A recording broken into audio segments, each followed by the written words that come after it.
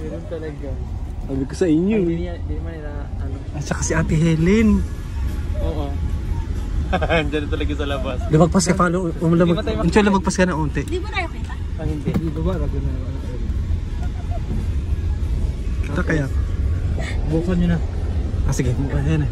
Baba mo. Baba mo. Madali. Sa may bintana. Sa may bintana. Sa may bintana.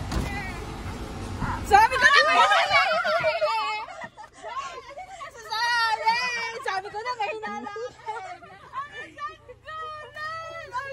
Nagulat.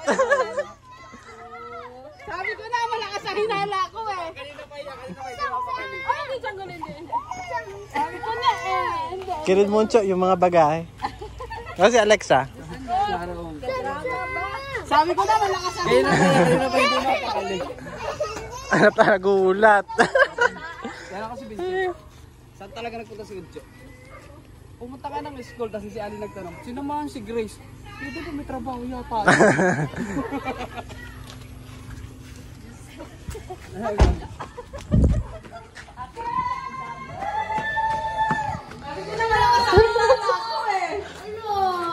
Nagulat siya eh. Nagulat ako eh. Oh, ba, ba, ba, ba, ba, ba. Ay, ay, ay, ay, ay.